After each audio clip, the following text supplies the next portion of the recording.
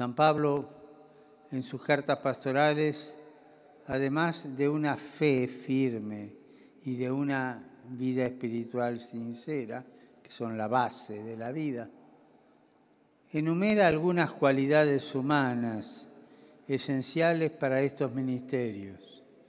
La acogida, la sobriedad, la paciencia, la afabilidad, la bondad de corazón, cualidades que hacen posible que su testimonio del Evangelio sea alegre y creíble.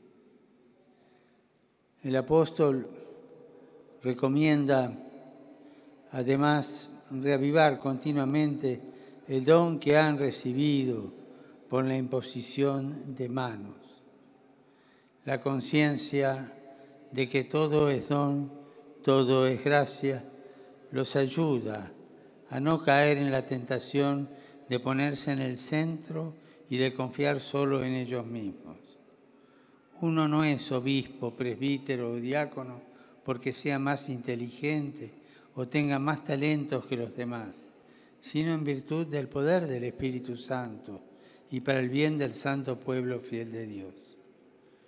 La actitud de un ministro no puede ser nunca autoritaria, sino misericordiosa, humilde y comprensiva.